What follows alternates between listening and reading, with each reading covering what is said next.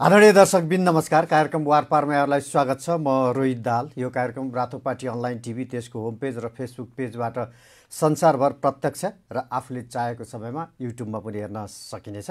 आज हामी नेपाली फुटबलका विषयमा केन्द्रित रहेर छलफल गर्नेछौँ। अखिल नेपाल फुटबल सङ्घ एन्फामा यतिखेर चरम विवादमा गुजिरहेको छ एन्फा। यतिसम्म कि एन्फाकै इतिहासमा पहिलोचोटि त्यसका अध्यक्षले अविश्वासको प्रस्ताव फेस गरेका छन्। अध्यक्षको बर्खास्तगी त जोगिएको छ तर नेपाली फुटबल जोगिएला कि नजोगिएला भन्ने अहम प्रश्न अथवा छलफल अहिले फुटबल प्रेमीहरू बिच चलेको छ।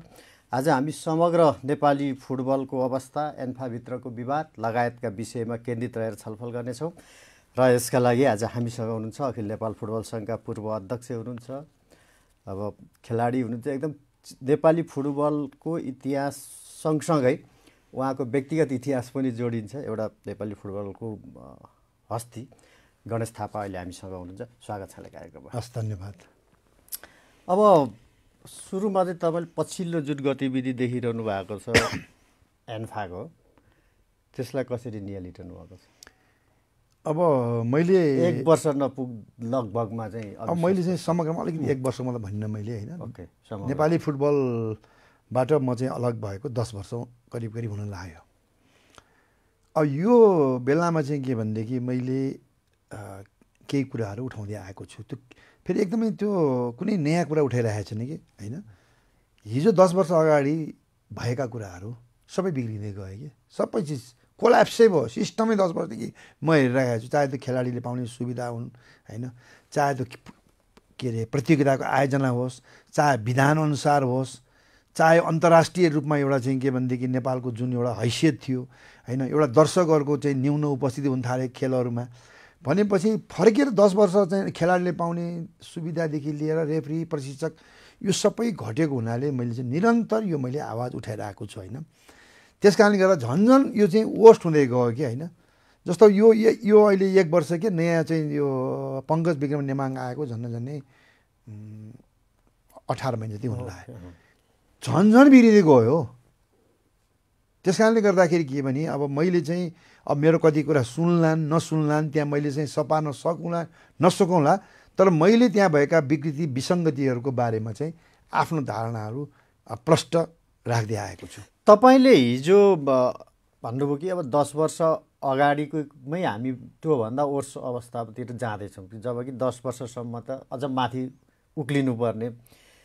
त्यो विज्ञानको नियमै हो नि त। अलिक प्रगति गर्दै जाने हुने पर्नेमा हाम्रो चाहिँ अधोगतितिर गइरहेको अवस्था छ। अब नेपाली फुटबलमा को नेतृत्व गर्ने अथवा एन्फा भनौँ त्यहाँ प्रयोग पनि हुँदै आयो। भनेको मतलब सकारात्मक रूपमा भन्दा फलानु ल्याउँदा हुन्छ कि फलानु ल्याउँदा हुन्छ कि नेतृत्वमा भन्ने त्यो प्रयोग चाहिँ तपाईँले पनि गर्नुभयो। यो पङ्कज ने विक्रम नेम्बाङजीलाई चाहिँ तपाईँले चाहिँ सहयोग गरेर जिताउनु भएको उनीबाट के आश हुन्थ्यो कि भनेर। झन् यति ओर्स हो कि पहिलाको भन्दा ओर्स अवस्थामा किन लगे यिनले? किन काम गर्न सकेनन् त? तपाईँले बिचैमा असहयोग गरिदिएर हो कि? होइन जस्तो चाहिँ के भने मैले त अघि भनिहालेँ म अहिले प्रत्यक्ष रूपमा फुटबलमा संलग्न हुन मिल्दैन। होइन? अब। खालि एउटा चाहिँ के भने एउटा सहानुभूति राम्रो हुन्छ कि भनेर एउटा मैले चाहिँ के भने आफ्नो धारणा व्यक्त गर्ने मात्रै कुरा हो। होइन? म संलग्न हुन मिलेन। तर के भयो भने अब जुन भनौँ न नयाँ आएर हुन्छ कि भन्ने आशा मैले पनि गरेको थिएँ अरूहरूले पनि गरेको थिएँ त्यो अनुरूप अहिले अब तपाईँले अहिले तत्कालकै तपाईँको चाहिँ भन्नुहोस् न यो चाहिँ यो डेढ वर्षको बिचमा अविश्वासको प्रस्ताव आयो। इतिहासै पहिलो होइन, किन आयो भन्ने कुरा पनि छ नि तपाईँको होइन। अविश्वास प्रस्ताव किन आयो भन्दाखेरि अब यो कुरो बुझ्नु जरुरी छ। अब यो कसरी मैले हेरिरहेको छु बाहिरबाट भने नि एउटा अडिटर नियुक्ति गर्नुपर्ने थियो। बुझ्नु भएन त्यो अडिटर नियुक्ति गर्ने क्रममा अब जो महासचिव हुनुहुन्छ जसको अहिले व्यापक आलोचना भइराखेको छ सक्षम छैन शैक्षिक योग्यता छैन होइन? कुनै के भनेदेखि क्षमता छैन भन्ने कुराको कुरा आर्थिक अनियमिततासम्मको कुरा छ। कुरा छ। भनेपछि त्यसमा तपाईँको जो प्रमाणित हुँदै गयो। जसमा एउटा अडिटर त्यो समयमा चाहिँ जस्तो एउटा साधारण सभा भएको थियो एक वर्ष अगाडि। त्यो साधारण सभामा यदि अडिटर नियुक्ति गरेको भए आज यो अविश्वास प्रस्तावै आउँदैन थियो। उहाँले अब चाहिँ अडिटर नियुक्ति गर्ने त्यो प्रस्तावै लानु भएन। त्यसपछि के भयो? अडिटर नियुक्ति गर्ने कुरामा अगाडि बढ्यो। त्यसपछि जुम मिटिङ गर्ने भन्यो। त्यसपछि जुम मिटिङमा चाहिँ सफल भएन। भनेपछि त्यो बढ्दै बढ्दै गएर अविश्वासको प्रस्तावसम्म आयो हेर्नुहोस् है। अब यो अविश्वासको प्रस्तावको बारेमा यो आउनु ल्याउनु पर्थ्यो कि पर्दैन थियो यो आवश्यक छ कि छैन भन्ने एउटा पाटोमा छलफल कुनै दिन गरौँला होइन? तर मुख्य रूपमा तपाईँको जब आइसके पछाडि हेर्नुहोस् है फेरि। अब झन्झन बिग्रिने कारण यो हो कि? अब सबभन्दा पहिला त के भने त्यो त्यो विधानको तपाईँको चाहिँ छत्तिस चार र पाँचले के भन्छ भने जसले अविश्वासको प्रस्ताव ल्याउँछ नि त्यसले ल्याएको प्रस्ताव चाहिँ हुबहु चाहिँ के भनेदेखि चाहिँ छलफलमा ल्याउनुपर्छ भन्ने कुरो भन्छ। भने अर्को चाहिँ तपाईँको फेरि त्यसैले चाहिँ तपाईँको चाहिँ त्यो के भन्छ भने यो परिवर्तन गर्न मिल्दैन भनेको छ। अब उनीहरूले के गरे महासचिवको प्रस्तावै ल्याएन हेर्नुहोस्। त्यसैमा विवाद भयो नि त। अब त्यसमा एउटा चाहिँ के ठुलो त्रुटि भएको मैले देखेको छु होइन? अब अर्को त्रुटि तपाईँले चाहिँ के भनेदेखि चाहिँ अब त्यो साधन सभामा भोट हाल्ने मताधिकार प्राप्त जिल्लाहरू भन्नुहोस् न त्यो पनि अवैधानिक छ। जस्तो भक्तपुर जिल्ला फुटबल सङ्घ र सिन्धुली जिल्ला फुटबल सङ्घ गएको चाहिँ के भनेदेखि चाहिँ त्यो कर्मा र पङ्कजको चाहिँ निर्वाचन हुँदाखेरि निर्वाचन समितिले त्यो निर्वाचनलाई अवैध त्यसलाई चाहिँ के भनेदेखि मानेन। मानेन। त्यो कुरालाई पछि नमानेपछि अपिल कमिटीमा गयो। अपिल कमिटीले पनि के निर्वाचन समितिले गरेको निर्णयलाई सदर गरेपछि अपिल कमिटीको निर्णयले के भन्छ भने हामीले गरेको निर्णय अन्तिम हुनेछ। अब त्यो कसले मात्र चाहिँ चेन्ज गर्न सक्छ भन्दा फिफाको त्यो चाहिँ कोर्ट अफ आर्बिट्रेसनमा जानुपर्छ। त्यसले मात्र यो चाहिँ गलत किस भन्ने कुरालाई अब दुइटालाई पनि तपाईँको अहिले राखेर भोट हाल्न लगाए हेर्नुहोस्। त्यहाँ पनि तपाईँको चाहिँ के भने एउटा अवैधानिक कार्य भयो। अब अर्को गण्डकी प्रदेशमा चाहिँ आठवटा जिल्ला छ। अब मताधिकार चाहिँ जम्मा छवटा जिल्लाले मात्र पाउँछन्। त्यो आठवटा मध्येमा त्यो निर्वाचन हुन्छ। अब केन्द्रले के गर्थ्यो त्यहाँ चाहिँ के भने हाम्रो चाहिँ अलिकति चाहिँ लाग्यो होला। यो हामीले भनेको मान्दैनन् भनेपछि नेपालको अर्को इतिहास कायम गरे हेर्नुहोस् चारजना प्रतिनिधि दुईवटा उपाध्यक्ष सहायक महासचिव सदस्यज्यूहरू चाहिँ चारजना प्रतिनिधि तोकेर पोखरामा चाहिँ हामी यो मताधिकारवाला जिल्लालाई बोलाउने भनेर गण्डकी प्रदेशलाई पत्र लेख्यो होइन? पत्र लेखिसके पछाडि गण्डकी प्रदेशले त सही कुरा यो त हाम्रो अधिकार हो कहाँ कहाँ गर्ने कसरी छनौट गर्ने भन्ने कुरा त हामी तपाईँहरूलाई भन्छौँ। हामीले भनेपछि तपाईँले चाहिँ प्रतिनिधि पठाइदिनुहोस् भनेपछि अब त्यहाँ लडाइँ त्यहाँ सुरु भयो हेर्नुहोस् केन्द्रले पोखरामा बोलायो गण्डकी प्रदेशले तनुमा बोलायो हेर्नुहोस्। अब गण्डकीले बोलाएको ठाउँमा प्रदेशले बोलाएको ठाउँमा छवटा जिल्ला गए। अनि केन्द्रले बोलाएको ठाउँमा दुईवटा जिल्ला गए। अब भन्न खोजेँ मैले कुरा के नि केन्द्रको यो अहिले यो यो यो झगडाले हेर्नुहोस् न अब केन्द्रले दिएको निर्देशन पनि नमान्ने भयो जिल्लाहरूले अब प्रदेशले नमान्ने भयो। अब त्यो नमानिसकेपछि त्यो त त्यो चुनाव त अवैधानिक हो नि केन्द्रले पठाएको प्रतिनिधिको अगाडि चुनाव पनि नगर्ने बोला ठाउँमा नआउने तर के भने त्यही जिल्लालाई फेरि तपाईँको चाहिँ के भनेदेखि यो चुनावमा चाहिँ के भने मान्यता दियो। अहिले साधारण सभा जुन तरिकाले गरियो नि हेटौँडामा हो।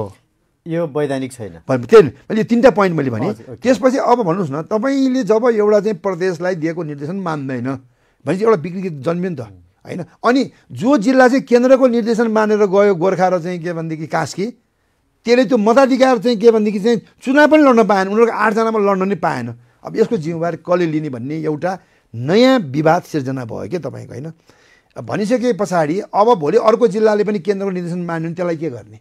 यो आजको तपाईँको साधारण सभामा उहाँहरूले मैले जितेँ भने एक तर फुटबलले त हार्यो विधानले त हार्यो नि तपाईँको चाहिँ। यसरी तपाईँको अवैधानिक तरिकाले अब गर्नु। अर्को फेरि तपाईँको महत्त्वको कुरा हेर्नुहोस् जहाँ पनि हामीले देखाएको कुरा त्यो जसले तपाईँको प्रस्ताव ल्याए त्यसलाई बोल्न पनि दिएन। अब त्यो- उद्घाटन सत्रै भएन। अब उद्घाटन सत्रै भएन बोल्न पनि दिएनन् अनि आफूले चाहिँ बोल्ने अध्यक्षले अनि यो यो चाहिँ जसले अविश्वासको प्रस्ताव ल्यायो त्यसलाई पनि त आफ्नो धारणा राखेर सबैले चाहिँ किन अविश्वास प्रस्ताव ठिक छ कि बेटी चाहिँ छलफल त हुनु पऱ्यो नि। त्यो पनि तपाईँको भएन हेर्नुहोस् है। अब भनिसके पछाडि यसरी तपाईँको चाहिँ के भनेदेखि चाहिँ अवैधानिक कार्यहरू गर्दै गएपछि अब भन्नुहोस् त यो साधारण सभाको चाहिँ अहिले जिते भनेर के भयो? त जित्नु पो होला। तर अर्को कुरा फेरि हेर्नुहोस् कति विकृति जन्मियो। अविश्वास प्रस्तावमा ल्याउनेमा साइन गर्ने मान्छे दस बाह्रजनाले भोटै दिएनन् हेर्नुहोस्। भनेपछि तपाईँ उता पनि साइन गरे अहिले भोट। भने हिजोसम्म के थियो? कार्य समितिमा थियो हेर्नुहोस् यो यो विकृति। हिजो कार्य समितिमा के थियो भने आज यता साइन गर्यो अनि भोलि फेरि तपाईँ उता साइन गर्यो। त्यो कार्य समितिमा सीमित थियो। अब अहिले आएर क्लब र जिल्लामा पनि तपाईँको साधारण सभामा पनि अब चाहिँ काहीँ नभए इतिहासै छैन होला सायद। अफिस अफिसर प्रस्तावमा साइन किन किन गरे हो? भनेपछि अब हामीले हेर्न चाहिँ बाँकी के छ भने यी जस जसले चाहिँ हिजो अफिसर प्रस्ताव चाहिँ ल्याउने मान्छेले के को लागि ल्याएको किन साइन गरे हो अहिले उता किन गरेको भन्ने कुरा त भोलि खेलकुद प्रेमीहरूको बिच प्राविधिक रूपमा पङ्कज नेम्बाङजीको कन्टिन्युटी भयो। भयो। प्राविधिक रूपमा होइन। अब त्यो वैधानिक अवैधानिक भोलि कोर्टमा जाला त्यसले फैसला गर्ला।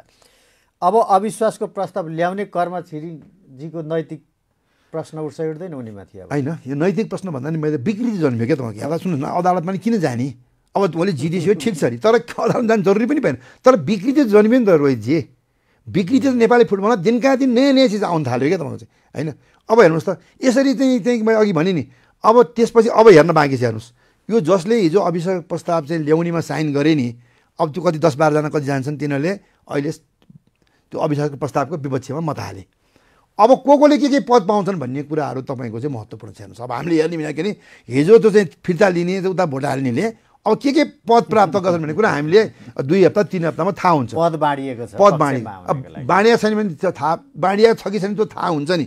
भन्नु खोज्दा अनि एउटा अर्को डरलाग्दो रोग चाहिँ के देख्यो रोहितजी भने मलाई चिन्ता चासो फुटबलमा बढी के भने आफै विवाद सिर्जना गर्ने अनि विवाद सिर्जना गरिसकेपछि तपाईँको चाहिँ अनि अनि त्यसपछि यो चाहिँ अनि पङ्कज विक्रम नेवाङसँग गएर बार्गेनिङ गर्ने। बुझ्नु भएन अब अब त्यो कति दिनसम्म चल्ने? त्यसकारण पञ्च पङ्कज विक्रम नेमाङले एन्ड फर्दरले जे सही हो वैधानिक रूपमा गयो भनेदेखि त यो बार्गेनिङ गर्ने मान्छेहरूको त एउटा त्यो हट्दै जान्थ्यो नि। अब त तपाईँको आफूलाई यो परेपछि अब अफिसर प्रस्ताव बचाउनलाई जे पनि गर्नुपर्ने भयो पद पनि दिनुपर्ने भयो भनेको हुनाले मेरो भनाइ चाहिँ किन अहिले यहाँ मैले जितेँ यति भोट ल्याएँ भनेर कसैले त्यो गरेको छैन तर एउटा फुटबललाई चाहिँ फाइदा के भयो त? यो अधिवेशनले पङ्कज विक्रम नेमाङले चाहिँ यो चाहिँ गरिसके पछाडि ठिक छ उहाँले के चाहिँ यो चाहिँ के भनेदेखि चाहिँ उपलब्धि गर्नु भयो भन्ने कुरा यदि उहाँले गर्नु छ उहाँको कार्यकाल अठार महिना भयो चार वर्षको कार्यकाल हो। चार वर्षसम्म कुर्न नसकेर अहिले अविश्वासको प्रस्ताव ल्याउनेहरूलाई चाहिँ के भन्नुहुन्छ तपाईँ? यो जरुरी थिएन। उनीहरूको बेलामा यो यो तपाईँ केही भएको यो थिएन जरुरी थिएन हेर्नुहोस् ल्याउन जरुरी थिएन। यो जरुरी थिएन। ल्याउन ल्याउनेका कारण पनि त विवाद त बढ्यो बढ्यो होला नि त होइन? तपाईँको चाहिँ के राम्रो काम गरेको थिएन तपाईँको दुई मात्रै छैन। होइन?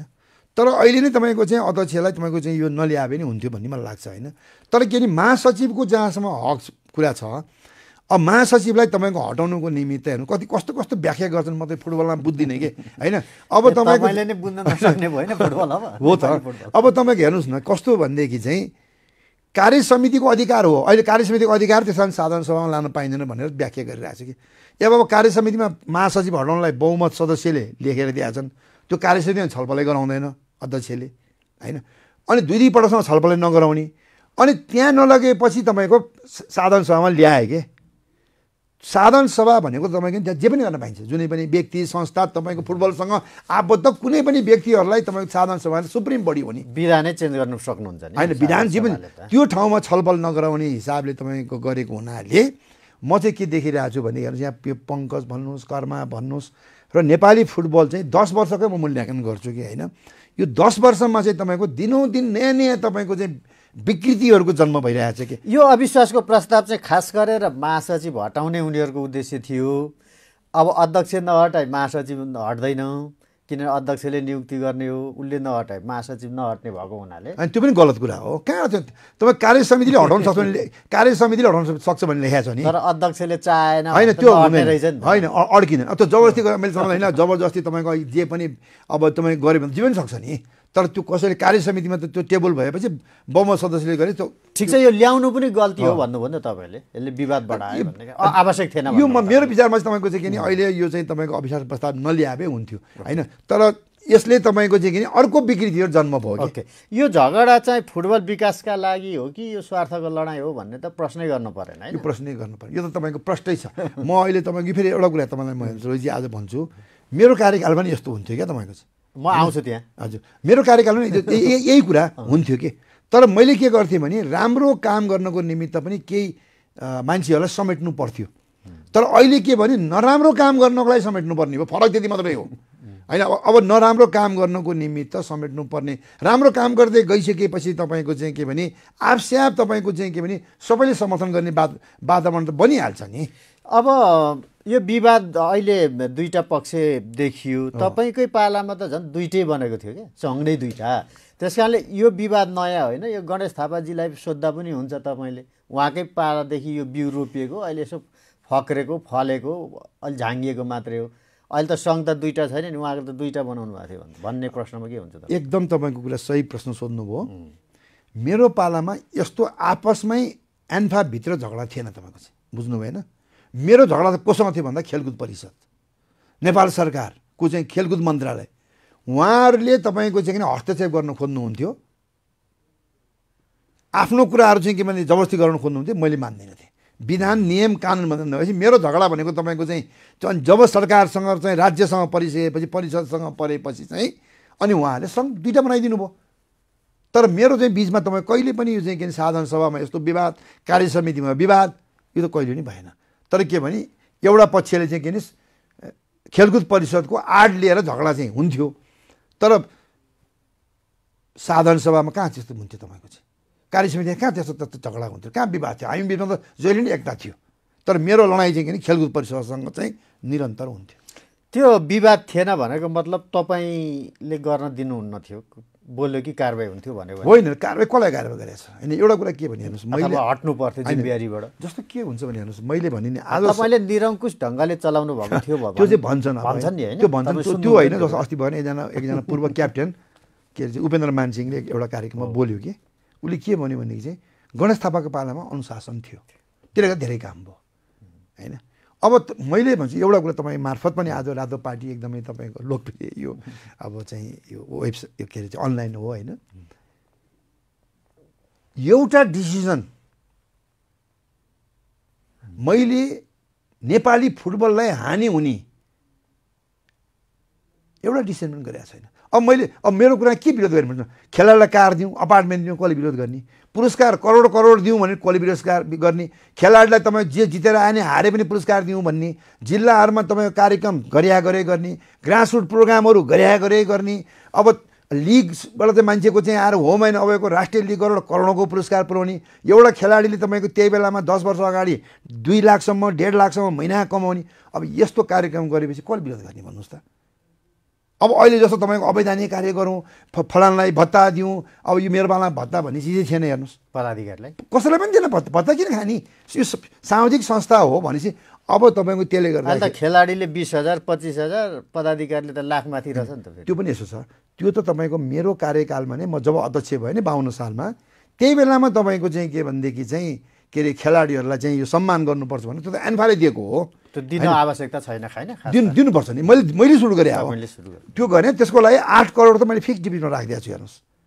खेलाडीलाई। अब म मेरो कार्य कुन चाहिँ कार्यक्रममा चाहिँ पदाधिकारी लिएर चाहिँ साधारणसँग विरोध हुने भन्नुहोस् न। कुनै त्यस्तो कार्यक्रम जुन चाहिँ सबै फुटबलको हितमा कार्यक्रम लगेपछि अनि विरोध त कसरी हुन्छ र? तपाईँले जवाफ दिँदा दिँदा हैरान भइसक्नुभयो फेरि जोडिहाल्छ। तपाईँले सबै वैधानिक ढङ्गले काम गरेको भन्नुहुन्छ कारवाही चाहिँ तपाईँले भोग्नुभयो नि त फिफैबाट होइन त्यो हेर्नुहोस्। यो एउटा प्रश्न चाहिँ तपाईँको तपाईँलाई लागिरहनु क्या जिन्दगी होइन त्यो चिज तपाईँको म यसलाई स्वीकार्छु हेर्नुहोस्। होइन मैले स्वीकारेको छु नि त। अब यो विषयमा मैले आम खेल प्रेमीहरूले लाई म यो चाहिँ एकदमै विनम्रतापूर्वक के अनुरोध गर्न चाहन्छु भने मेरो जीवनमा यो एउटा परिबन्ध भयो हेर्नुहोस्। होइन? अब त अब म- भन्छु त्यो एउटा परिबन्ध भयो जीवनमा। यसलाई अलिकति मलाई एक मिनट एक मिनट बोल्न दिनुहोस् होला। त्यो क्लियर गर्नुपर्ने विषय छ। एकदम। यो कुनै भोटको निमित्त यो पैसा लेनदेन भएको होइन। हमा मेरो मित्र हो उहाँले धेरै नेपाललाई सहयोग गर्नुभयो। मान्छे मर्दा पनि दिनुभएको छ बिरामी हुँदा पनि दिनुभएको छ स्कलरसिप दिनु करोडौँ करोड रुपियाँ उहाँले नेपाली अरूलाई पनि दिनुभएको छ। त्यही क्रममा मलाई पनि पारिवारिक रूपमा सहयोग गर्नुभयो। तर कालान्तरमा के भयो भने जब चाहिँ के भने फिफाको चाहिँ सेफ ब्लाटर र चाहिँ हमामको बिचमा झगडा भयो नि त्यसपछि हमामलाई कारवाही गर्नुको निमित्त यो उठाइयो कि? कि हमामले गणेश थापालाई गरेको चाहिँ यो व्यक्तिगत सहयोग चाहिँ भोटको निमित्त दिएको भनेर त्यो हमामलाई कारवाही गर्नको निमित्त। त्यो गर्नाले हमामलाई त दुई हजार एघारमै कारवाही गर्यो नि त। तर मलाई दुई हजार पन्ध्रमा कारवाही गर्यो। तर जे जस्तो भए पनि हेर्नुहोस् त्यो पैसा एन्फाको होइन एएफसीको होइन फिफाको होइन हमामको व्यक्तिगत रूपमा मलाई व्यक्तिगत पारिवारिक सहयोग गरेको हो। त्यो पैसा एन्फाको भएको भए एएफसीको फिफाको भएदेखि मलाई अलिकति चाहिँ कस्तो कस्तो लाग्थ्यो होला। तर त्यो व्यक्तिगत रकमको चाहिँ बापतमा मैले चाहिँ बिना कारण दस वर्ष मैले सजायको चाहिँ सुनायो। त्यो कारणले आम मान्छेहरूले गणेश थापाले चाहिँ अब जे जे भन्दाखेरि त्यो पार्टमा ठिक छ। तर म त तिस वर्ष ए बिस वर्ष त म एन्फामा बसेँ नि त। त्यो यदि म भोटको निमित्त चाहिँ पैसा लिने दिने गर्ने मान्छे भएको हो भने त्यस्तो चरित्रको मान्छे भने हेर्नुहोस् आजभन्दा पच्चिस वर्ष अगाडि चालिस लाख रुपियाँ। एउटा कमिसनको रूपमा चाहिँ के ठेकदारले ल्याएको रकम पनि मैले भने यसरी म त लिन्न। यो त घुस हो भ्रष्टाचार हो। त्यस कारणले गर्दाखेरि यो खेलाडी कोषमा हाल्छु भन्ने व्यक्ति म हेर्नुहोस्। त्यसरी आज अक्षय कोषमा त्यो चालिस र एन्फाले दस लाख थपेर पचास लाखको अक्षय कोष खडा भएको छ हेर्नुहोस्। यदि भ्रष्टाचार गर्ने मान्छे ठिक छ नि त यदि त्यस्तो चाहिँ किनबेच गर्ने मान्छे भए त म बिस वर्ष बसेँ नि त एन्फामा। मैले एक रुपियाँ पनि त्यहाँ चाहिँ के भनेदेखि चाहिँ बिस वर्ष कार्यकालमा त्यस्तो मान्छेले त त्यो भ्रष्टाचार गर्ने मान्छेले त एन्फामा पनि गर्ला नि त। हो जुन दिनमा कतिवटा पाँचवटा आयोग त गठन भयो नि त होइन? पछि अन्तिममा गएर त अख्तियार सार्वजनिक लेखा समिति सबैबाट गणेश थापाले र फिफाले छानबिन गरेर त मैले त क्लिन चिट पाएँ नि त नेपालको बिस वर्षको मेरो कार्यकालमा त। त्यसै कारण त आज म चाहिँ एकदमै ठुल्ठुलो स्वरले आवाज उठाउन सक्ने मेरो चाहिँ के भने आत्मबल केमा छ भन्दाखेरि त्यो एउटा परिबन्ध भयो। अब मेरो साथीले दिएको सहयोगलाई भोटको निमित्त दियो भनेर भन्यो। अब त्यसलाई स्वीकार गरेँ र त्यो स्वीकार गरेर त अहिले म दस वर्ष चाहिँ प्रतिबन्धमा छु। अब मेरो प्रतिबन्धले फेरि हेर्नुहोस् यसमा अलिकति तपाईँको लागि मैले मेरो प्र प्रतिबन्धले कसलाई नोक्सान भयो त? आज लिग दशरथ रङ्गशालाको दर्शक हेर्नुहोस्। करोड करोड पुरस्कार हेर्नुहोस्। खेलाडीले कार अपार्टमेन्ट करोड करोडको पुरस्कार राष्ट्रिय लिग सुरु गरेको थियो। आज हेर्नुहोस् त सात वर्षदेखि घोषणा गरेको पुरस्कार हामी दिन सक्दैनौँ। नयाँ पुरस्कार त दिने घोषणा गरेर छाइ छाडिदिनुहोस् अस्ति मैले त एउटा पङ्कज नेमाङले गरेँ एयरपोर्टमा गएर रोएछ तपाईँको। मसँग त पैसा पनि छैन केही पनि छैन। तपाईँहरू चाहिँ एकाउन्न हजार लिनुहोस्। ए बाबा म त हारेर आउँदा दुई लाख दिने मान्छे। हेर्नुहोस् त यसरी आज वर्ल्ड कप क्वालिफाइङ राउन्डमा पुगेको दोस्रो चरणमा पुगेको छ। त्यसको बाबतमा एन्फाले तिन चार करोड रुपियाँ कमाउँछ तर खेलाडीलाई दिनु सक्दैन हेर्नुहोस्। अब यो अवस्थाले मेरो प्रतिबन्धले त सबै नेपाली फुटबल अब तपाईँले सबै बुझ्नु भएको छ त्यहाँको तपाईँ भोक्ता पनि हो साक्षी पनि हो नेपाली फुटबलको।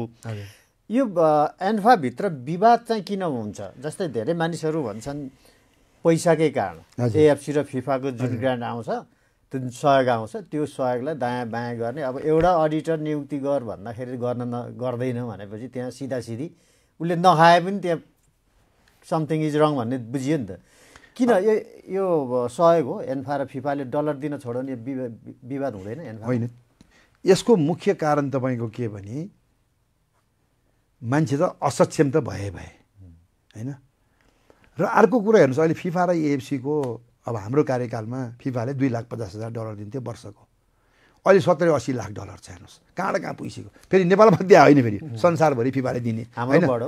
संसारभरि दिएको चिजमा सबै देशलाई दिएको भनौँ न। एएफसीबाट त्यस्तै बढिया छ। अब तपाईँले यो कुरा गर्नुभन्दा अगाडि मैले चाहिँ भन्नै पर्ने कुरा छ। अहिले हामी चाहिँ के भनेदेखि चाहिँ अघोषित रूपमा लगभग चार वर्षदेखि चार वर्षदेखि तपाईँको चाहिँ के भनेदेखि आर्थिक नाकाबन्दीमा छ हामीहरू फिफाको। त्यो कारण त तपाईँले बुझिहाल्नुभयो नि त। हिजो म बिस वर्ष कार्य बिस वर्षसम्म त पाँच वर्षसम्म त फिफाको सहयोग थिएन। पन्ध्र वर्षसम्म तपाईँको चाहिँ के भनेदेखि चाहिँ हिजो गणेश थापाको पालामा भ्रष्टाचार भयो यो भयो त्यो भन्दाखेरि चाहिँ फिफाले कहिले पनि त्यो नरोकिने। होइन? अध्यक्ष नै भ्रष्टाचारमा परेपछि त होइन। अब भनेपछि आर्थिक नाकाबन्दी हुनु अब अहिले अहिले चाहिँ किन आखा आर्थिक नाकाबन्दी गर्यो त?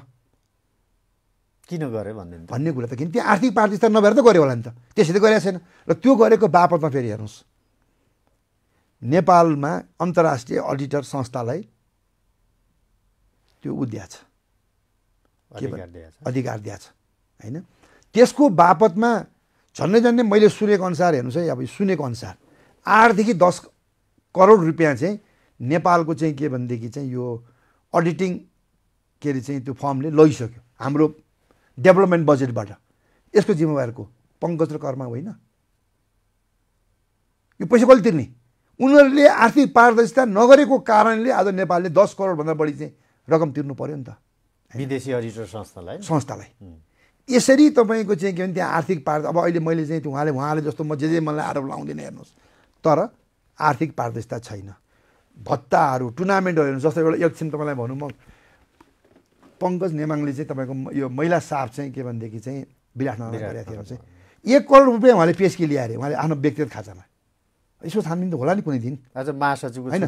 त्यो। त्यो महासचिवको फेरि तपाईँको अर्को चाहिँ प्रदेशको तपाईँको चाहिँ अख्तियारसम्म पुगेको केस छ। होइन? यो त तपाईँको चाहिँ के भन्छ छानबिनको दायरामा त आउँछ आउँछ एक दिन होइन? भन्न खोजे एक करोड पेस्की लिनुभयो डेढ करोडभन्दा त्यो प्रतियोगिता लस छ हेर्नुहोस्। हाम्रो कार्यकालयमा अन्तर्राष्ट्रिय प्रतियोगिता कुनै पनि घाटामा गएको रेकर्डै छैन। कसरी खर्च भयो र त्यहाँ? अब यो विषयमा त तपाईँ कुनै दिन कुनै दिन छानबिन गर्छ मैले भन्नुपर्दा के भने त्यहाँ ठुलो आर्थिक अनियमितता छ भन्ने कुरामा कुनै शङ्कै छैन। तर को को मान्छेले आर्थिक अनियमितता गरेको छ भने चाहिँ त्यो छानबिन भएपछि त्यहाँ ठुल्ठुलो काण्डहरू छन् हेर्नुहोस्। होइन म त्यसमा लामो जान चाहन्न ठुल्ठुलो काण्डहरू छ। होइन? एक दुईवटा भनिदिनु न के फरक? जस्तो तपाईँको चाहिँ के भनेदेखि जस्तो चाहिँ मैले भने साफ च्याम्पियनसिप महिलाको। अर्को तपाईँको यो चाहिँ यो यो किन चाहिँ यो चाहिँ फिफाले आर्थिक नाकाबन्दी गरेको कारणले जस्तो तपाईँको चाहिँ के भन्छ एन्फा रिनोभेसन होटेल भिर भिरगुडे लिएर आएर पैसा बाँडेरै खायो तपाईँको चाहिँ। होइन? पङ्कज नेमाङ र तपाईँ कर्म छिरिङ शेर्पा किरण राई लगायत सबैले मिलेर लिएर आएर उहाँहरूले बाँडचुडी गरेर खानुभयो। होइन? अब को कोले कति पैसा लिनुभयो त्यो भोलि छानबिनको क्रममा आउला। खाएका व्यक्ति तिनजना भयो होइन तिनजना व्यक्तिको चाहिँ प्रमुख के अरे व्यक्ति हुने यिनीहरू? बाँड्नेमा। होइन? एन्फामा आउनुपर्ने पैसा? बाहिर ल्याएर ल्याएर बाँडेर ब- पछि गएर के के के के गरेर चाहिँ यो फलानालाई दिएको को कोलाई भनेर मिलायो तर बान्ने भनेपछि त म काट्नेले हात पनि चाटे होला नि होइन। त्यस्तो पनि गर्न मिल्दैन नि त कहाँ मिल्छ? यो यो कुरामा अनि बान्नेले खाँदैन त अलिअलि। खै के के गरेँ? म त्यो चाहिँ म अहिले भन्दिनँ होइन? त्यस कारणले गर्दाखेरि म उहाँले खानुभयो कि भएन भन्ने म भन्दिनँ तर त्यो पैसा लिएर आएर चाहिँ बाँडेँ होइन? अब यसरी आर्थिक जुन कुराहरू भइरहेको छ यो अत्यन्त अब दुःख लाग्दो कुरा। भनेको अहिले कर्माजी र पङ्कजजीको लडाइँ भनेको चाहिँ आर्थिक नै हो। होइन दुइटाले बोल्न बसेर खाने अब खाइरहेको देखे होला।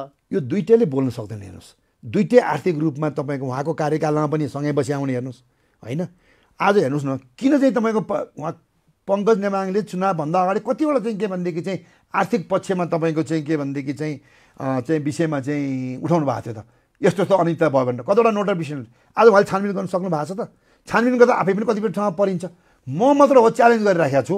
दुइटैलाई छानबिन गरौँ न एकपटक भनेर। किनभने ममा कन्फिडेन्स छ यदि तपाईँको मैले नि बदमासी गरे भए मैले पनि सजाय भोग्नुपर्छ। त्यो विवाद चाहिँ आर्थिकै हो त भनेको त्यही मैले सहयोग दिन्छ नि फिफा एएफसी अरू होइन त्यो। विवाद त्यो छैन। तपाईँको त्यो एउटा आर्थिक पक्ष पनि एउटा कुरा भयो।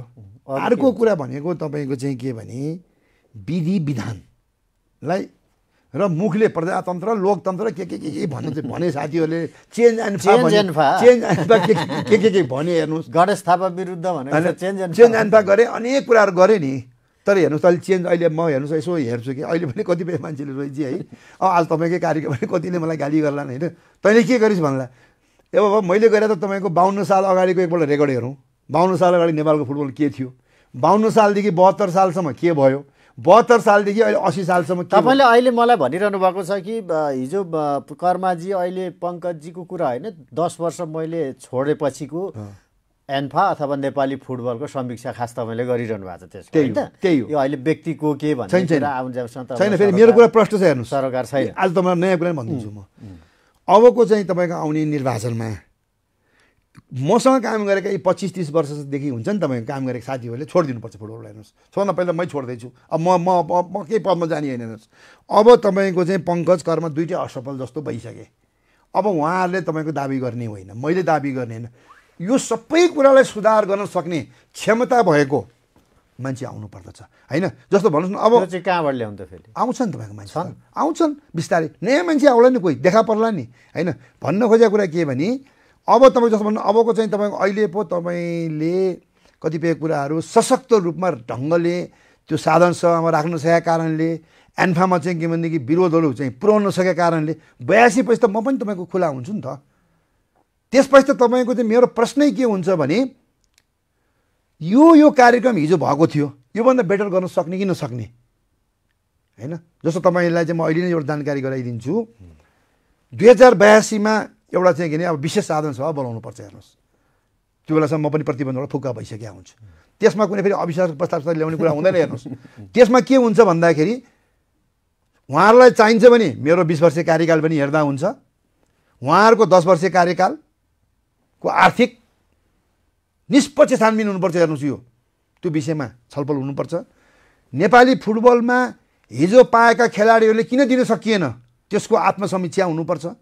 र आगामी दिनमा कसले गर्न सक्छ? त्यो मान्छेले नेतृत्व लिनुपर्छ भन्ने छलफल हुनुपर्छ होइन?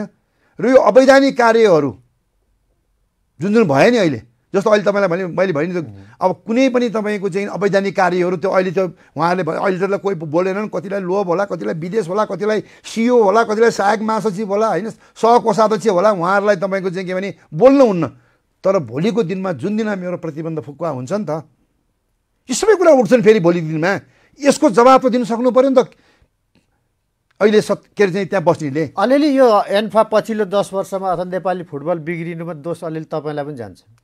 हेर्नुहोस् अब किनभने यस्तो नेतृत्व ल्याउन तपाईँ नेतृत्वै गर्नुभयो पङ्कजजीलाई ल्याउन तपाईँले चाहिँ नेतृत्वै गर्नुभयो अलिअलि त लिनु न अनि त्यो मैले तपाईँको चाहिँ के भने अघि तपाईँलाई मैले मैले असक्षम नेतृत्वलाई। ल्याउन सहयोग गरेछु भन्ने अलिअलि आत्मग्लानी त होइन मैले। तपाईँको मैले ल्याएकै होइन सबभन्दा पहिला हेर्नुहोस् होइन जिताउनु भयो एउटा। मैले जिताएको भन्ने कुरा तपाईँको चाहिँ अब त्यो बाहिर मैले तपाईँको नि कर्मा छिरिङ शेर्पाले गर्न सकेन सायद यो नयाँ मान्छे आयो भने यो अलिकति तपाईँको चाहिँ कहिले एउटा घटना गल्ती त। होइन अहिले तपाईँको हेर्छु नि म अहिले फ्याट्टै मैले पुरानो कुरा सम्झेँ कि अब यो मान्छे अलिकति के अरे मन्त्रीको नि छोरा होइन?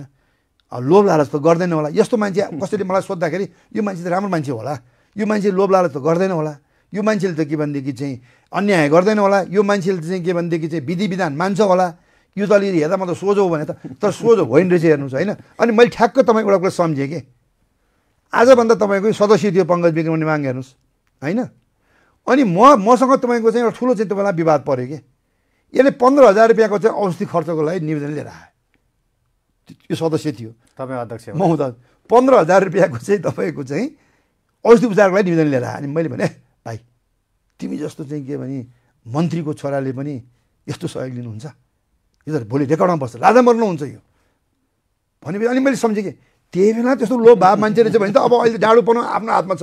अब यसले के गर्यो होला भन्ने कुरा त मलाई थाहा छैन हेर्नुहोस्। अब अहिले नै म पङ्कज विक्रमले मागले भ्रष्टाचार गर्यो यो गर्यो भन्दिनँ। तर गल- गल्ती चाहिँ अलिअलि महसुस भयो होइन ल्याउन अलिक मैले ल्याएको मान्छे ल्याइन छु मैले ल्याएको भन्ने शब्द नगर्नुहोस् मैले ल्याउन सक्ने अवस्थै छैन। मैले त्यो बेला तपाईँसँग अर्कै टेलिभिजनमा इन्टरभ्यू गरेको थिएँ त्यतिखेर चुनावको बेलामा। ठिक छ अब फुटबल प्रतियोगिताहरू त अब आयोजना भइरहेछ देशभरि तर त्यसको गुणस्तर हेर्ने हो भने चाहिँ पटक्कै छैन। गुणस्तर भनेको के भने दर्शकहरूको कुरा होला खेलाडीको अरू पर्फर्मेन्सको कुरा होला। छैन देखिँदैन किन अब आज? अब आज हेर्नुहोस् न। खेलाडीहरू सबै पलायन हुन थाले विदेश होइन? किन पलायन भयो? त्यो म आउँछु त्यसमा। होइन? यो ल त्यसमा। त्यो गुणस्तरको गुणस्तरको त हेर्नुहोस् न मैले भने कुनै मानिसलाई पनि तपाईँको फुटबलप्रति प्यासन भएको मान्छे म एन्फार्म देख्दिनँ नेतृत्वमा। नेतृत्वले त अरूलाई बनाउने हो। तर नेतृत्वमा त्यो प्यासन देख्दिनँ हेर्नुहोस्। त्यो प्यासन नभएसम्म अब आज हेर्नुहोस् सबै चिज त भन्दा ग्रासरुट कार्यक्रम खत्तम। अझ म तपाईँलाई त्यसमा सजिलो होला जोडिदिन्छु जस्तै एकदमै घरेलु फुटबलको मेरुदण्ड हो नि त तपाईँको यो लिगहरू यो निर्धारित समयमा भइदिएन भएकै छैन भनौँ न भएकै छैन। प्रायोजकहरू यति धेरै आउँथे ज हामीले जान्दा पनि फुटबलमा तिनीहरू टाढिँदै गएको जस्तो देखिन्छ। अब ए डिभिजन लिग सकिए त्यतिखेर पनि पाएन भनौँ लगभग प्रायोजकै ऊ भएन। भनेपछि यस्तो अवस्था कसरी सिर्जना भयो भन्ने क्वेसन अब यो कारण अघि गुणस्तरको कुरा यो कारण चाहिँ तपाईँको के भनेदेखि एउटा कुरा त पहुँच पनि हो हेर्नुहोस्। अर्को कुरा तपाईँले कार्यक्रम राम्रो गर्नु भने प्रायोजक आफै आउँछ नि त। ए डिभिजन लिग त सकिएपछि पो प्रायोजक आएको थियो सुन्नुहोस् न यो यो अहिलेलाई मात्र नभन्नुहोस् न। हामीले मैले अघि भने म त जोड्दैछु तपाईँको कर्माको पालादेखिको। के अरे अब तपाईँले चाहिँ बिना रेलिगेसनको लिग सुरु गरिदिनु भयो कर्माजीले। यहाँ त हरेक इतिहास कायम भएको छ कि तपाईँ सन् काहीँ नभएको तपाईँको चाहिँ अब जब तपाईँले बिना रेलिगेसनको लिग गर्नुहुन्छ न दर्शक आउँछ न प्रायोजक त्यसपछि त लिगको त सिद्धियो नि त तपाईँको। यस्तो किन भइरहेछ? कारण के नबुझेका पनि त होइन। होइन त्यो भन्दा नि तपाईँको आफ्नो व्यक्तिगत लिने स्वार्थ लिने विदेश घुम्नेमा जसरी केन्द्रीय अध्यक्षको प्रायोरिटी नै के भयो भन्दा फुटबलप्रति त जेसी होस् नहोस् आफू चाहिँ जानु पऱ्यो विदेश। र केही त्यहाँ फाइदा लिनु पऱ्यो सुविधा लिनु जब अध्यक्ष नै त्यो भएपछि त बाँकी कुरा त्यो हुन्छ नि त। जस्तो प्रायोजक आएन भने त कहिले उहाँहरू प्रायोजक खोज्न गए पनि देख्दिनँ। र एउटा कुरा तपाईँलाई चाहिँ रोहितजी हेर्नुहोस् आजसम्म तपाईँले यत्रो ठुल्ठुलो विवाद सुन्नुहुन्छ। एउटा बैठक कार्य समितिको बैठकमा खेलाडीहरूको हक हितको निमित्त चाहिँ के भनेदेखि चाहिँ झ- झगडा भइरहेछ अरे भन्ने कुरा सुन्नुहुन्छ। के राष्ट्रिय लिग भएन भनेर झगडा भए सुन्नुहुन्छ? के भने तँ विदेश गइस् म समितिमा परिनँ मैले खान पाइनँ। यसैमा त झगडा छ तपाईँ जम्मै कुराहरू। अब यसको जिम्मेवारी म अरू तल्लोकोलाई म दिन्न हेर्नुहोस्। त जब तपाईँको नेतृत्व गर्ने अध्यक्ष नै यसको सबभन्दा महत्त्वपूर्ण जिम्मेवारी हेर्नुहोस् होइन? त्यस कारणले गर्दाखेरि जबसम्म त्यो अध्यक्षमा त्यो किसिमको क्षमतावाल मान्छेहरू हुँदैन र प्यासन हुँदैन र अर्को कुरा दबाब दिने हेर्नुहोस्। अब दबाब दिने मान्छे नै के भइदि भइदिइरहेको छ अहिले भने उहाँहरू नै अब आफ्नो स्वार्थमा बढी तपाईँको चाहिँ के भनेदेखि चाहिँ अब बढी प्र प्राथमिक त्यो कुरा चाहिँ हेर्दा थाहा छ उसलाई यो कुरा गलत हो। यसले राम्रो गरिरहेको छैन। भन्ने कुरा थाहा छ। होइन? अब भन्दा भन्दै तपाईँको मैले एउटा कुरा बिर्सिनुलाई हेर्नुहोस् है। मैले एक दिन तपाईँको चाहिँ सोमलाल कामीको चाहिँ तपाईँको चाहिँ मैले चाहिँ एउटा अन्तर एउटा टिकटकमा हेरेको थिएँ कि। यो मोटरसाइकल ससाइकल पुरस्कार पायो भने तैँ लैजा अर्कोलाई कसलाई भनिरहेको थियो उसले। कार पायो भने त म पाउँछु भन् मैले लिनुपर्छ भनिरहेको थिएँ कि। अब त्यो व्यङ्गात्मक रमाइलोको लागि भनिरहेको त्यो पनि मैले सोचेँ कि। अब त हेर्नुहोस् मलाई लाग्छ को मान्छेले तपाईँको चाहिँ कार चाहिँ र अपार्टमेन्ट देला भने? किनभने हेर्नुहोस् म त कहिले काहीँ यो यो दुनियाँ देखेर त्यो आज सात आठजना मान्छेले त खेलाडीले पाए नि। त्यो एकजना होइन आठजनाले पाए नि। त्यसपछि बन्द भयो कर्मजी आएपछि होइन? सबै पुरस्कारहरू बन्द भए। अनि तर त्यो जसले पाए नि तपाईँको त्यो मान्छेले ओहो गणेश थापाको पालामा मैले पाएँ भनेर एकजनाले बोल्दैनन्। होइन हामीले पायौँ हामीभन्दा आउनुपर्ने जुनियर खेलाडीले पनि पाउनुपर्छ भनेर कोही बोल्दैनन्। अनि दिने मान्छेलाई पनि तपाईँको त्यो अहिले मलाई लाग्छ मैले पनि दिएर त गल्ती नै गरेछु कि क्या जस्तो लाग्नु थाल्यो क्या मलाई। होइन भने तपाईँको एउटा सोमलाल कामी भन्नुहोस् अहिले वर्ल्ड कपमा हेर्नुहोस् हामीले त साफ च्याम्पियनसिपमा जितेर आऊ सबैले एपार्टमेन्ट लैजाऊ। खेलाडीको संरक्षण तपाईँले गर्नु न तपाईँ बाहिरी सक्नु अनि भएकोलाई चिडाएर खेलाडीले कहाँ आफ्नो होइन। होइन त्यो पाइसकेको होइन। त्यो त पाइसकेको वालाले भने मैले। पाइसकेको वालाले गर्नुपर्छ नि हेर्नुहोस्। र अर्को कुरा तपाईँले यहाँ सोध्नु भने म मैले अलिकति कुरा राख्न चाहेँ। मलाई हेर्नुहोस् म त एउटा फुटबलको अब क्रिकेटले ठुलो प्रगति फड्को मारिरहेछ। एज ए नेपाली म खुसी छु। तर म त मेरो त प्रायोरिटी त फुटबल हुन्छ नि त होइन? फुटबल त हराइसक्यो नेपाल होइन? सुन्नुहोस् त्यो। चिन्ता त्यही चिन्ता भने मैले हेर्नुहोस्। त्यो चिन्ता म देखिरहेको छु कि।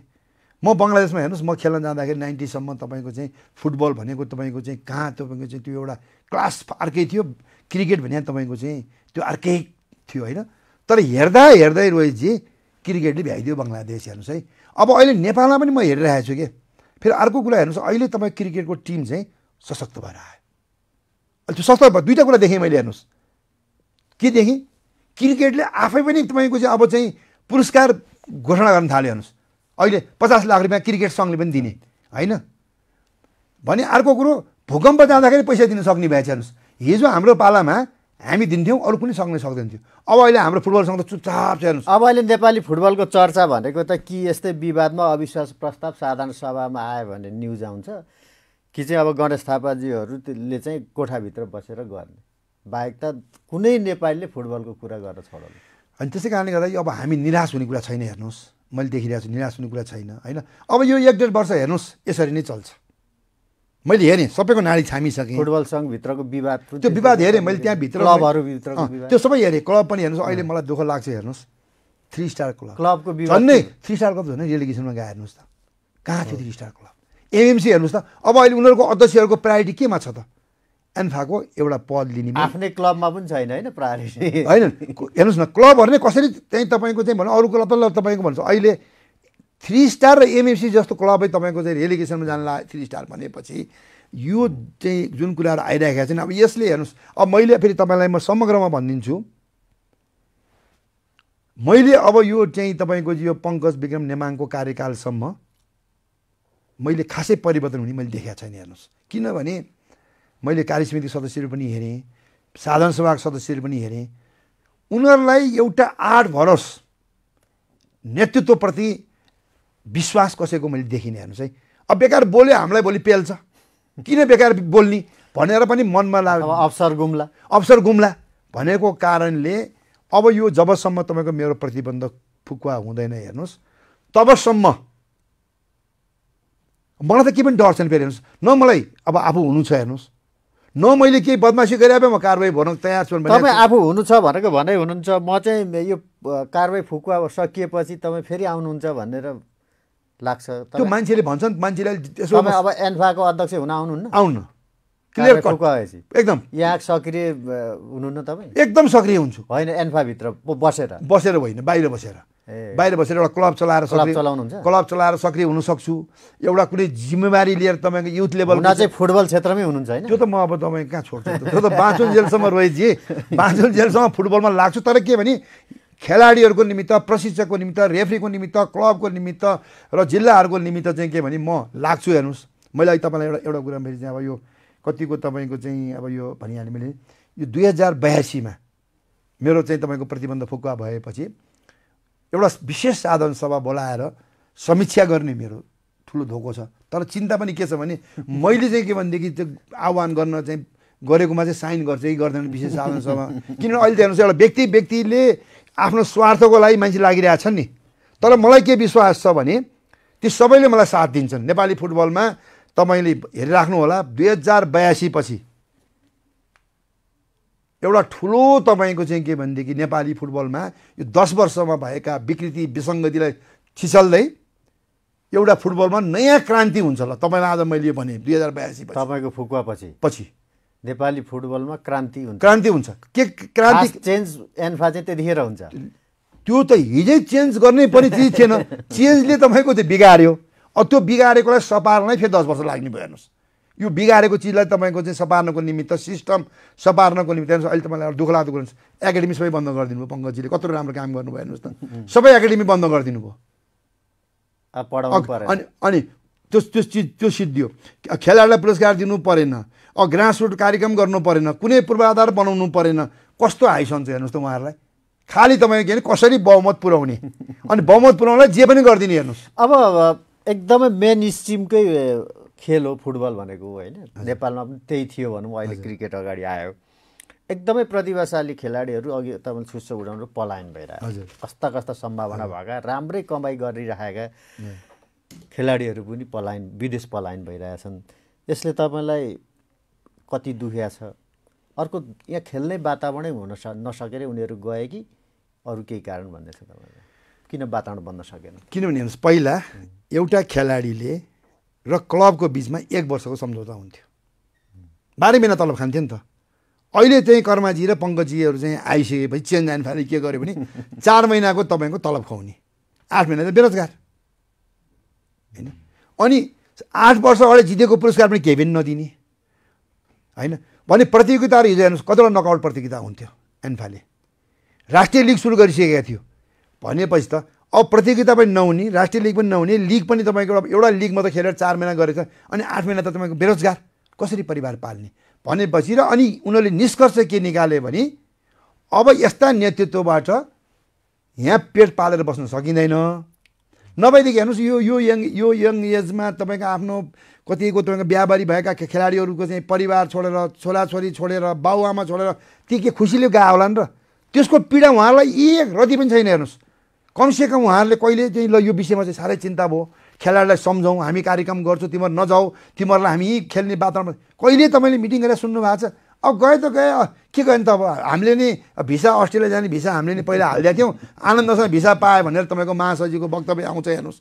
भनेपछि अब यस्ता व्यक्तिहरूबाट अब उनीहरूले कसरी आश गर्न सक्छ भन्नुहोस् त? वातावरणै नभएर जस्तो। मलाई भनेर गएको छन्? सर आउनुहोस् फेरि फर्केर आउँछौँ भन्छन्। हामी खेल्न सक्ने अवस्था सरले चाहिँ सरको प्रतिबन्ध फुक्का भएर सरले आह्वान गर्नुहोस् हामी आउँछौँ भनेर गएको छन्। हुनु पनि हेर्नुहोस्। एउटा यस्तो दिन आउँछ तपाईँ हेर्नुहोस्। त मैले तपाईँ फुटबलको क्रान्ति गरेँ नि म सबभन्दा पहिला मैले चाहिँ के सोचिरहेको छु भने सिस्टमबाट जाउँ। साधारण सभाबाट बोलाएर छलफल गरौँ भन्ने छ। होइन भने हेर्नुहोस् एउटा यस्तो दिन आउनेछ अमेरिकादेखि लिएर तपाईँ संसारभरि भएका नेपाली खेलाडीहरू प्रशिक्षकहरू रेफ्रीहरू। एउटा यिनीहरूको विरुद्धमा हेर्नुहोस्। सशक्त एउटा तपाईँको चाहिँ आन्दोलन हुन्छ। किनभने आजसम्म खेलकुदमा आन्दोलन भएको छैन हेर्नुहोस्। अनि राजनीति ठुल्ठुला परिवर्तन भयो अब अहिले यिनीहरूलाई के लागेको छ भने ओहो हामीसँग यति भोट छ। हामी सबै भनेर चाहिँ जुन किसिमको छ नि तर जब तपाईँको खेलाडीहरू प्रशिक्षकहरू रेफ्रीहरू आफ्नो हक अधिकारको लागि लड्छन् नि भागाभाग हुन्छ हेर्नुहोस् यो मान्छेहरू। यो त संयोग पो भयो त। तपाईँको आफ्नै दाजु कमल थापा राजतन्त्र पुनर्स्थापना गर्नुपर्छ भनेर लाग्नु भएको छ। अब तपाईँले एन्फाका यी सबलाई को भागाभाग हुन्छ भने चाहिँ के ल्याउनुहुन्छ त्यहाँ चाहिँ? एन्फामा चाहिँ तपाईँले? एन्फामा गर्न सक्ने मान्छे ल्याउँछ। गर्न गर्न सक्ने मान्छे अर्कै व्यवस्था होइन? गर्न सक्ने मान्छे क्षमतावान मान्छे। तपाईँको एउटा सिस्टममा लान सक्ने मान्छे। हिजो भएको भन्दा म त टेन्डर गर्ने हो। तपाईँले सकिन सक्ने सक्ने मान्छे जाने बस्ने नसक्ने मान्छे जाने। भनेपछि तपाईँको चाहिँ के भने नभएदेखि हेर्नुहोस् अब यही यस्तो तपाईँले आज देख्नुभयो नि त साधनसँग अभिशासक प्रस्तावमा तपाईँले कसै कति चहलखेल भयो तपाईँले देख्नु भएन। यदि तपाईँको आम खेल प्रेमीहरू नउठ्ने खेलाडी नउठ्ने भने त त्यहाँ गएर भोटिङ गऱ्यो भने त अहिले पनि उनीहरूले जितिहाल्छ नि त चाहिँ तपाईँको योजना चाहिँ के हुन्छ भनिहाल्नु? बयासी जुन मेरो कारवाही फुकुवा हुन्छ त्यो समय सकिन्छ। नेपाली फुटबलमा क्रान्ति नै हुन्छ भन्नुहुन्छ है। तपाईँले फेरि त्यतिखेर हुन्छ नि हाम्रो छलफल एकदम हुन्छ। त्यो चाहिँ के हो? कसरी हुन्छ क्रान्ति? क्रान्ति कसरी तपाईँ अनि कसरी हुन्छ भने राष्ट्रिय लिग हुन्छ होमेनोको आधारमा। शहीद स्मारक लिग तपाईँको चाहिँ पुरानो स्थ- स्थितिमा फर्काउँछौँ। खेलाडीले कार एपार्टमेन्ट एउटाले होइन तपाईँको दुई दुई दुइटाले पाउने तपाईँको चाहिँ के भन्दै व्यवस्था गर्छौँ हामी तपाईँको चाहिँ। होइन? एउटा खेलाडीले केही नै भने तपाईँको तिन चार लाख रुपियाँ नेपालमै खेलेर पनि बस्न सक्ने वातावरण बनाउँछौँ हामी। त्यही हो क्रान्ति भनेको त। त्यसको मतलब एन्फामा तपाईँ नआउने भनिसक्नुभयो तर तपाईँले भनेको मान्छे आउने भयो त्यतिखेर। मैले भने मान्छे होइन। हामी सबैले भनेको मान्छेहरू। त्यो बेला सबैले कर्माले पनि सहयोग गर्नुपर्छ पङ्कजले पनि सहयोग गर्नुपर्छ नेपाली फुटबल हामीले सकेनौँ। उनीहरू आफू हट्ने हिसाबले कहाँ तपाईँलाई सहयोग गर्छन् त्यो सबैले वातावरणले उनीहरूलाई देखाउँछ पछि गएर अब कहीँ कोही नभए चाहिँ के खाइ गर्नु? पाइ आएको कुरा कसैले त्यो तपाईँको त्यो? वातावरणले एउटा ल्याउँछ हेर्नुहोस्। किनभनेदेखि उनीहरूलाई यति आज हेर्नुहोस् न हिजोसम्म तपाईँले एकछिन तपाईँले दाईको कुरा गर्नुभयो पञ्चायतको कुरा गर्नुभयो त बहुदलको कुरा गर्नुभयो। कस्ता कस्ता हस्ती थियो? जनता अगाडि जनताले तपाईँको चाहिँ के अरे चाहिँ नचाहेपछि गएनन्? भोलि सारा खेलाडी तपाईँको चाहिँ प्रशिक्षक रेफ्रीहरू एक भएर अब तपाईँहरू होइन अब नयाँ मान्छे आउँछ नयाँ मान्छे त हामीलाई सहयोग गर्नु भने उनीहरूले कसरी तपाईँ सहयोग नगर्ने? म त अहिले पनि आह्वान गर्छु। अब आउने तपाईँको चाहिँ नयाँ चुनावमा सबै पुराना मान्छेहरूले हेर्नुहोस्। त्यसमध्येमा कोही इमान्दार छन्। ठिक छ? उहाँहरू म इमान्दार छु। ल एकछिन ल यो पङ्कज र कर्मालाई पनि। म इमान्दार छु। म चाहिँ फेरि गर्छु। भन्यो भने उनीहरूलाई पनि बाटो त खुला छ त तर एउटा अग्नि परीक्षाबाट उहाँहरूले पास हुनैपर्छ त्यो के भने उहाँहरूको कार्यकालमा भएको सबै कुराहरू समीक्षा गरौँ। आर्थिक कस्तो थियो? उहाँहरूले पाला के के गर्नुभयो? ल अब तपाईँ सबैजना मिलेर सहयोग गर्छु म खेलाडीलाई पनि जे जे पनि सहयोग गर्नुपर्ने हिजोको भन्दा बढी दिन्छु भनेर प्रतिबद्ध जनाएर तपाईँको चाहिँ गर्न सक्ने दिन आयो भने त उहाँहरूलाई निषेध गर्ने कुरा त आउँदैन तर उहाँहरूको क्षमता देखिएन के तपाईँको? अब म अन्तिमतिर छु। अब निकै लामो इतिहास बोकेको खेल हो फुटबल। अब यति लामो समय बितिसक्दा पनि तपाईँले भन्नुभयो दस वर्ष अगाडिको होइन कि त्योभन्दा तल झरिसक्यो। अझ खराब अवस्थामा छ नेपाली फुटबल भन्ने छ। अब अवस्था यस्तै रहने हो भने अब विश्वकपको त अब के कुरा गर्नु टाढाको कुरा भइहाल्यो। अब एसियाली आकाश छिचोल्नलाई पनि गाह्रो छैन यसो हेर्नुहोस्। यसमा मान्छेले के भन्छन् भने अब मेरो मेरो। पालामा समय लाग्ने भयो भनौँ। मेरो पालामा तपाईँको चाहिँ के भने केही प्रतियोगिताहरू जित्दै जित्दै पनि असफलता थियो जित्न सकिएन। च्याम्पियन हुन सकिएन भनौँ न। तर त्यो सबै खेलाडी त मेरो कार्यकालमा जन्मिया खेलाडी हुन्। मैले हुर्काएर बढाएर तपाईँको त्यो खेलाइदिएको रेडिमेड खेलाडीले गएर पछि प्रतियोगिता जित्नु थाले होइन। अब अहिलेसम्मको प्रतियोगिता खेलाडी भन्नुहुन्छ भने प्रमुख खेलाडीहरू हाम्रै कार्यकालको खेलाडी छ हेर्नुहोस्। अब नयाँ खेलाडीहरू तपाईँको चाहिँ एक त चाहिँ किन अहिले एउटा स्टारको रूपमा अहिले म दस वर्षदेखि एउटा स्टार खेलाडीहरू तपाईँ एकाध खेलाडी बाहेक तपाईँको हामी देख्दैनौँ होइन? त्यो तपाईँको चाहिँ छैन। र अर्को कुरो फेरि हेर्नुहोस् मेरो चाहिँ के भने मेरो जब म बाहिर गएर तपाईँको व्यावसायिक फुटबल खेल्न म कलकत्ता बङ्गलादेशमा गएँ नि त्यहाँ मैले देखेँ कि तपाईँको चाहिँ? खेलाडीले पैसा लिएर खेल्ने खान पाउने बाँच्ने। भने मेरो तपाईँको हेर्नुहोस् मैले कहिले पनि तपाईँको मेरो कार्यकालमा के भने वर्ल्ड कपै पुग्छु भन्ने मात्र मेरो उद्देश्य होइन कि? पहिला त सबभन्दा पहिला खाना दिनु पऱ्यो नि बाबा बेसिक चिज त खेलाडीले खान पाउनु पऱ्यो। त्यो कुरा चाहिँ तपाईँको चाहिँ कमसेकम हाम्रो कार्यकालमा एउटा खेलाडीले हेर्नुहोस् कतिपय खेलाडी त कार चढेर हिँड्थे अपार्टमेन्ट थियो होइन? भने एउटा लिगमा खेल्ने खेलाडीले तपाईँको बाह्र मिनट भनेपछि त्यसलाई बढाउँदै लगेर मेरो त पहिलो प्रायोरिटी के भने सबभन्दा पहिला तपाईँले खानै दिनुहुन्न भने तपाईँ ठुलो चाहिँ कुरा गरेर हुन्छ होइन? भनिसके त्यस कारणले गर्दा मेरो प्रायोरिटी जहिले पनि के भने त्यो किन कि त मेरो जस्तो अहिले एउटा आम खेलप्रिय मैले के बुझिदिनु पऱ्यो भने दुई हजार बाहन्न साल अगाडि। जस्तो अहिले मैले भनिरहेको छु नि कसैले भन्न सक्छ? दुई हजार बाहन्न साल अगाडि यस्तो राम्रो थियो। यो चाहिँ बिग्रियो भनेर कसैले भन्न सक्छ? एकदमै अन्तिममा छु मेरो समय सकि नै सक्यो। अब कसले सम्हाल्ने यो व्यथिति जम्मा भएर बसेको छ यसलाई कसले सफा गर्ने? यो फोहोर एन्फाको नेपाली फुटबलको त्यस्तो व्यक्ति देख्नुहुन्छ तपाईँ? र अब अब त्यसले अब पुरा पुरानै लयमा भनौँ न तपाईँले भनेअनुसार। पुरानै लयमा नेपाली फुटबललाई पुर्याउनु के के गर्नु पर्ला सकिन्छ। सकिन्छ? आरामसे त्यो सकिन्छ। नेतृत्व। नेतृत्व मैले लिन्न होइन। तर म त्यो सक्ने नेतृत्वको खोजीमा छु। अझै पनि बाँकी छ नि तपाईँको। अढाई वर्ष बाँकी छ नि त। यो अढाई वर्षको बिचमा त्यस्तो मान्छे मैले यो आह्वान गरिरहेको छु नि त।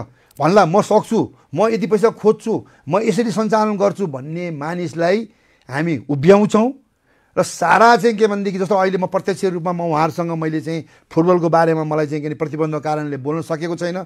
हरेक भेलामा गएर म ती सबै जिल्ला क्लबहरू सबै खेलाडीलाई राखेर किन हेर्नुहोस् अब नेपाली फुटबलमा नयाँ मान्छे आउनु चाहिन्छ तपाईँहरू पनि चाहिन्छ र चाहिँ एउटा के भने नेपाली फुटबललाई पुरानै वातावरणमा ल्याउन सक्ने सफल नेतृत्व ल्याउनुपर्छ भन्ने कुरामा चाहिँ म एकदमै कन्फिडेन्स छु हेर्नुहोस् र र मेरो भूमिका पनि किन बाहिर रहे पनि त्यो आउने नेतृत्वलाई प्रत्यक्ष रूपमा मैले चाहिँ सहयोग सल्लाह र चाहिँ के भने चाहिँ यो जसरी हिजो मैले लागेको थिएँ नि पदै लिनुपर्छ जरुरी छैन नि। बाहिर बसेर पनि त मैले सहयोग गर्न सक्छु तपाईँले भनेको ल्या ल्याएर पनि कहाँ गतिलो भयो त? अहिलेको तपाईँले भनेर ल्याएको अहिले त मैले ल्याएकै हेर्नुहोस् तपाईँ जति पनि सुन्नु न मैले खालि मैले भने नि दुईवटामा तपाईँको चाहिँ के भने त्यो त्यसले सक्यो नि यसले सक्छ कि भन्ने एउटा हेरेको हेर्नुहोस् होइन?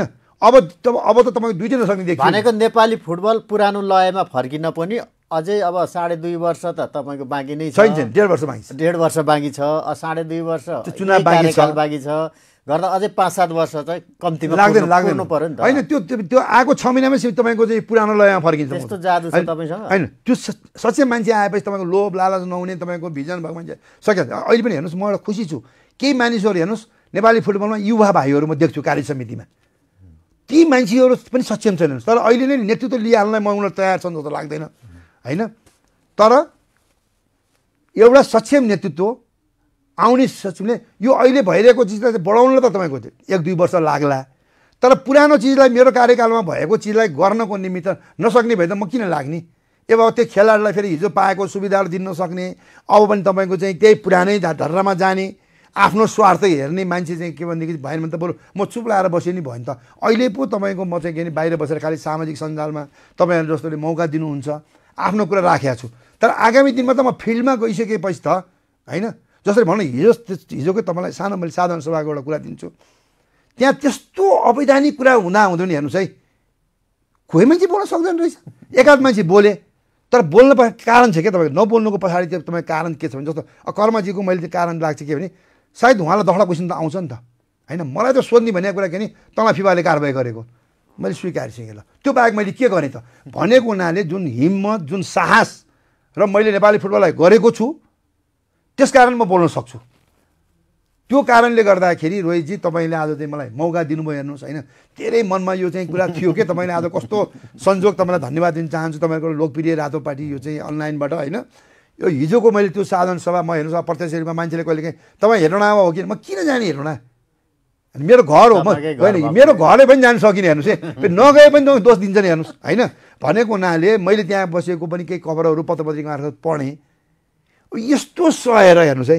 मलाई लाग्यो त कस्तो होला त? आफैले चाहिँ साइन गर्ने आफैले विपक्षीमा भोट हाल्ने हेर्नुहोस्।